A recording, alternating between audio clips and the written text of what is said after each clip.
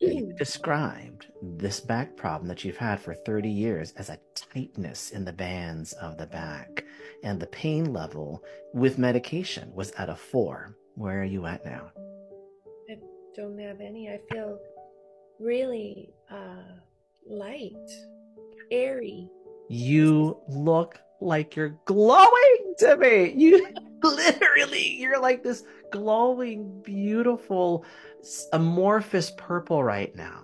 Oh, that's awesome. It well, one thing that you said earlier that was so spot on and intuitive is that you saw your body in orange.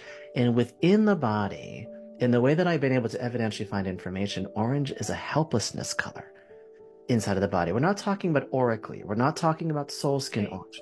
Right. In the body, it moves through a sense of helplessness. And it was so fascinating that you said that so quick because that's what it ruminates as.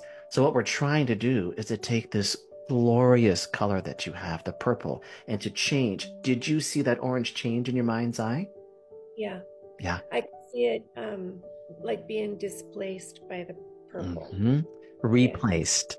Yeah. And your body, which has experienced this sometimes debilitating pain for almost 30 years, in this moment, we call this vibrational medicine.